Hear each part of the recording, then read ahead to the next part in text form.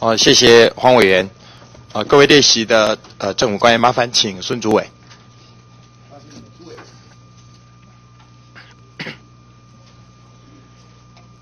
委员好，哎，主委你好哈。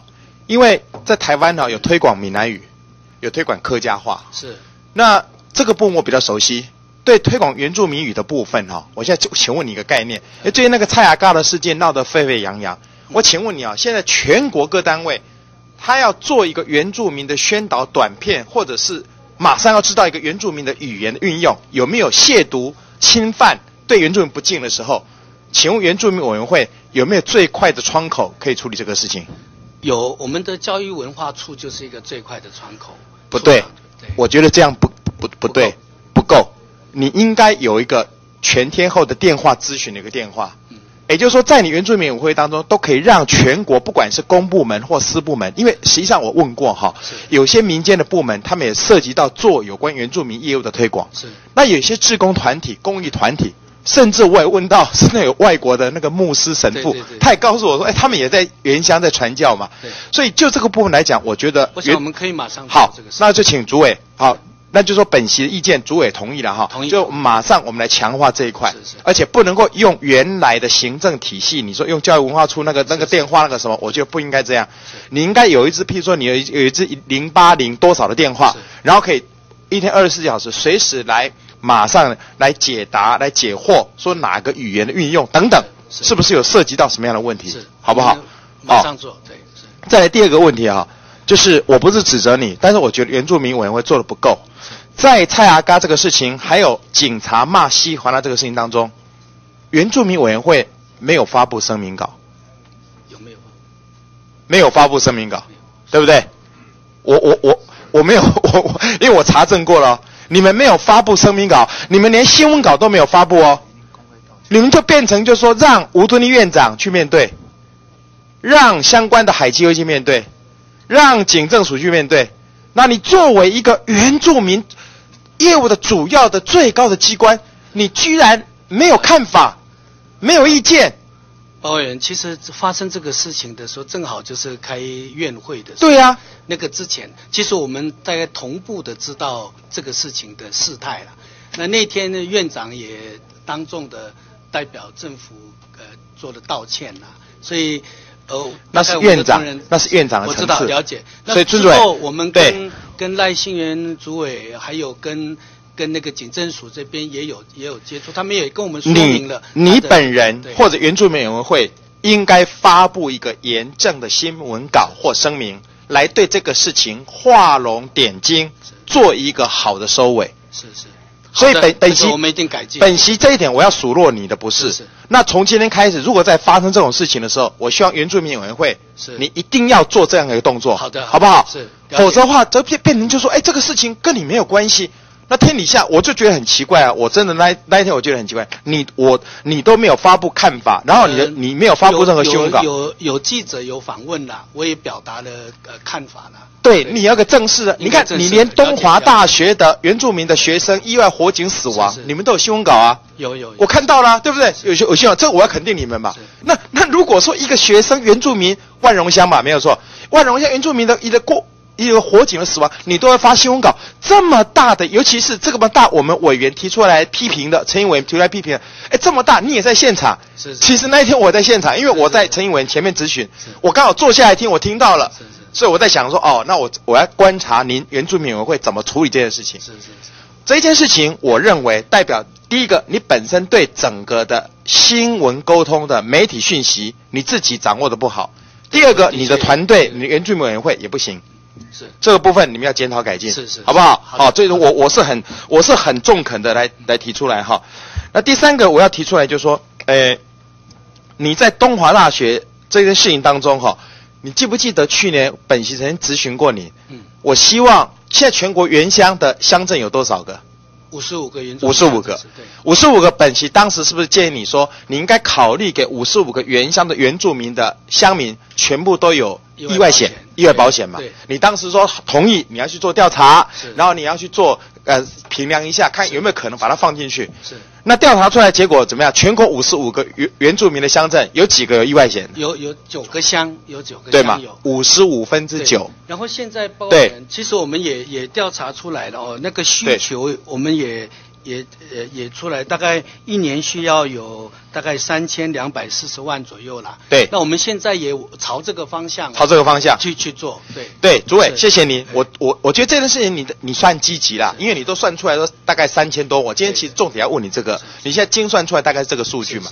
这个数据从本席的观点来讲的话，这个数据对国家资源来讲一点影响都没有一点影响都没有。所以你应该积极的跟院长争取，或者说你自己去去编编预算哦。那当然一百年来不及了嘛哈，一百零一年是哦，到了明年后年有没有机会？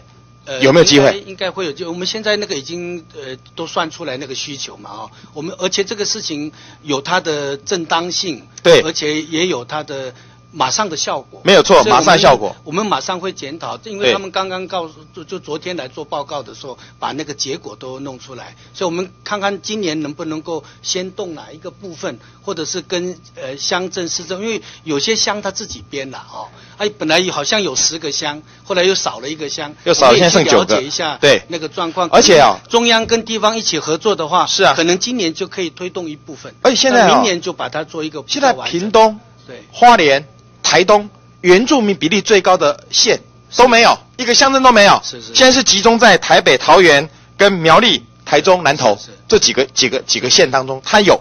所以像东华大学这位原住民的学生徐耀庭，大四这个学生，他住万荣，是万荣乡就没有。没有对那那我就觉得很遗憾。你看以乌来乡来讲的话，他一个人死亡六十万，哦，以苗栗的泰安来讲的话，死亡三十万，重残十万。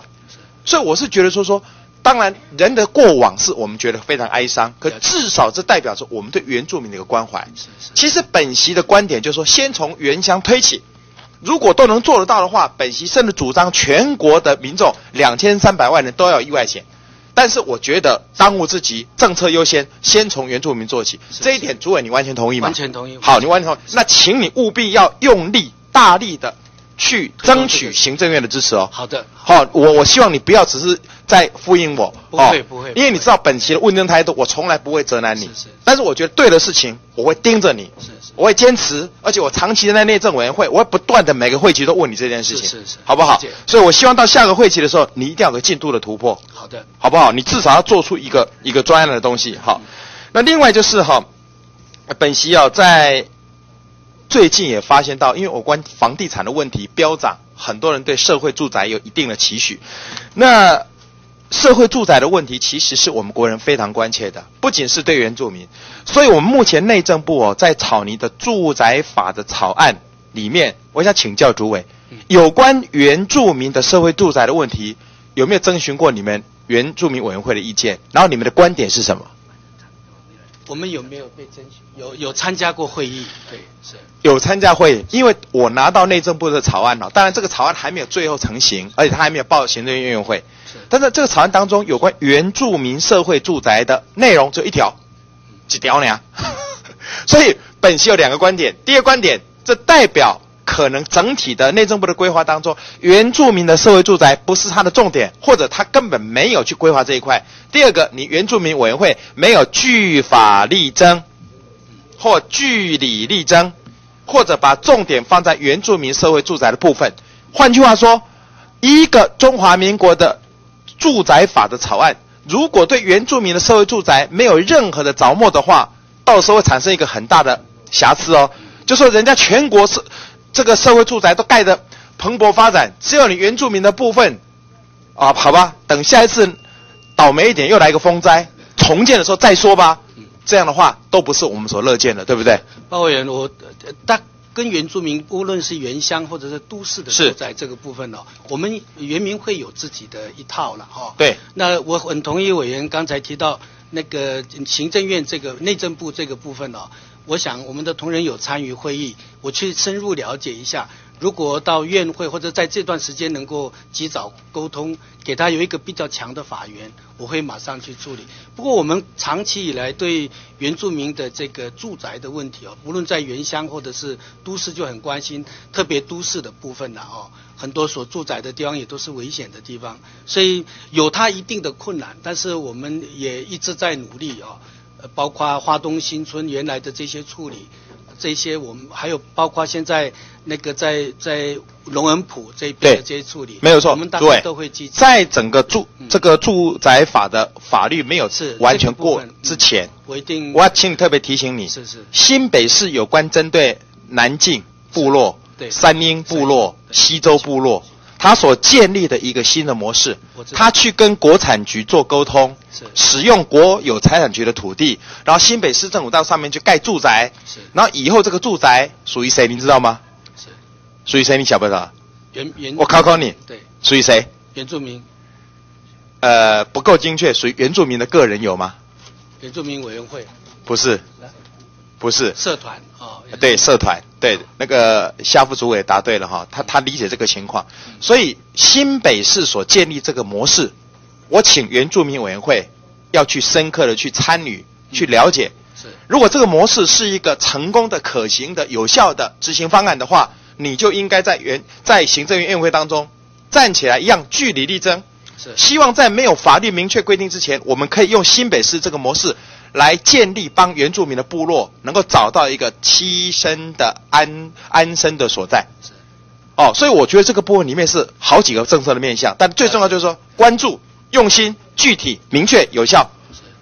所以这个部分我跟夏对夏祝九夏教授还有那个新北市新的团队这段时间都有互动，都有互动。只要这个能够更完整的计划上来。我们一定会会全力的。那新北市这个模式，你觉得可不可行？呃，应该是可行了。应该是可行。对，看看起来，要不然这个部分哦，已经也是遗留了十几二十年的时间了。不朝这个方向，大概不能。好，诸位，最后我大概呃一一分钟时间了，呃，这是你们原住民委员会出的嘛？